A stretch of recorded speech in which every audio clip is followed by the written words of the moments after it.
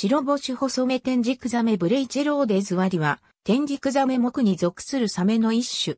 青細目天竺ザメとともに、細目天竺ザメ科に含められる。オーストラリア東岸に分布し、低性で、夜行性である。岩礁や藻場に普通で、長官帯から深度140メートルまで見られる。水上での生存力はかなり高い。全長1メートル以下。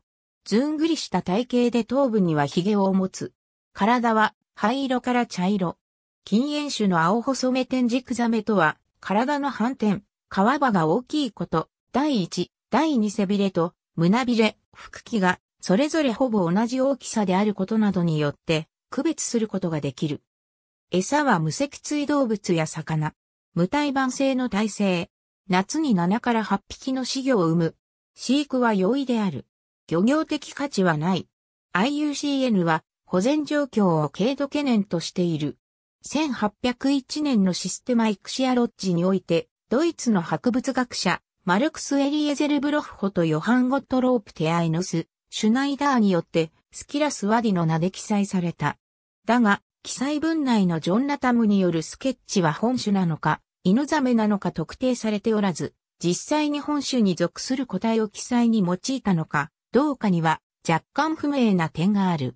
1907年、ジェームズ・ダグラス・オギルビーはギリシャ語のブラッケス、アイラー・ローズに由来するブレイチェローデズ族を設立して本種を含めた。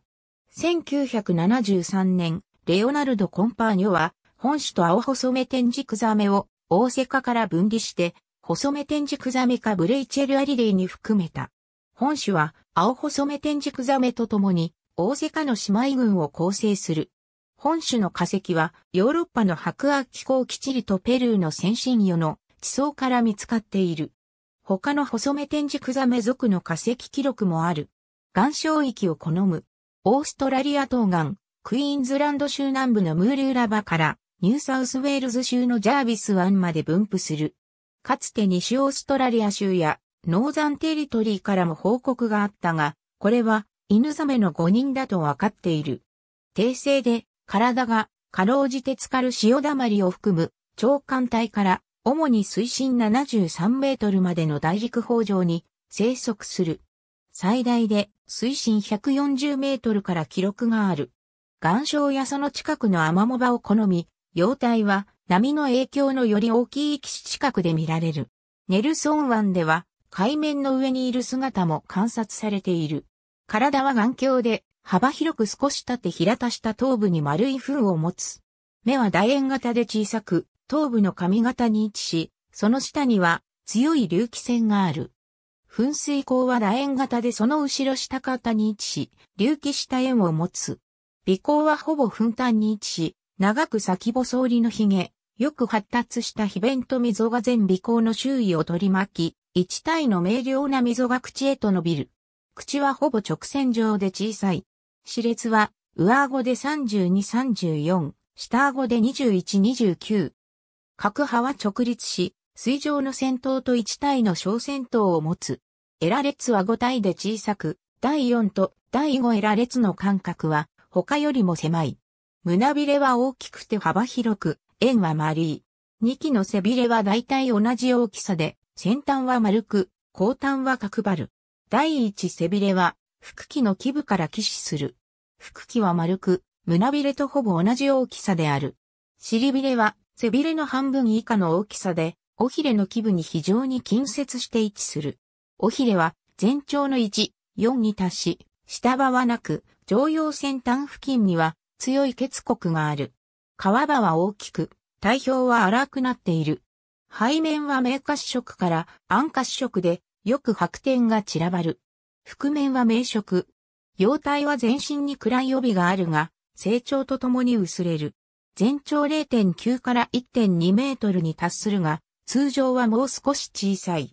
水上では厚い下まぶたを閉じて、眼球を収納することができるため、ブリントシャークという英名が付けられているが、実際には十分な視覚を持つ。水上でも18時間は生きることができ、引き潮に取り残されても生存することができる。日中、生体は洞窟や岩棚の下、幼体は岩の裂け目内などの隠れ場所にいて、近づいた小動物を捕食する他は不活発な状態にある。夜間は無脊椎動物や甲骨魚を求めて岩礁や海藻の間を探し回り、見つけたいものを吸い込んで捕食する。卵黄がまだ残る胎児のイラスト。無胎盤性体性であり、おそらく毎年繁殖する。出産は夏で産子数は7から8、出生時は15から18センチメートル。オスは全長62センチメートル、メスは66センチメートルで生成熟する。飼育下では20年生きた記録がある。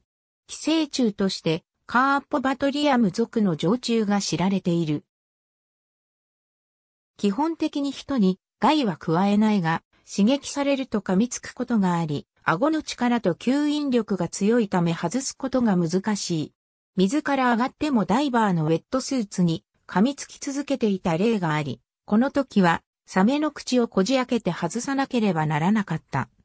丈夫であまり大きくならず、低静であまり動かないことから、家庭用アクアリウムで十分に飼育できるとされている、数少ないサメの一つである。だが、隠れる習性があり、夜行性であることから、動く姿を観察することは難しい。飼育化繁殖も成功しており、シドニー水族館では繁殖コロニーが維持されている。肉には強いアンモニア臭があり、除去が難しいため、商業漁業の対象とはならない。クイーンズランド州、ニューサウスウェールズ州で営まれる車エビの底引き網などで混獲されるが、水上での生存力が高いため、海に戻された後の生存率は高いと考えられる。遊漁者によって釣り上げられることもあるが、顎が強く針を外すのが難しいため厄介な下道とされている。体が小さいため、サメよけネットでビーチへの侵入を防ぐことはできない。アクアリウム飼育目的の捕獲量は不明だが、問題となるレベルではないと考えられている。個体数が多く、捕獲圧も影響を及ぼすほどではないと見られることから、IUCN は保全状況を軽度懸念としている。分布域は設定された、または設定が予定される多くの海洋保護区と重複している。日本ではアクアワールド大洗で見ることができる。ありがとうございます。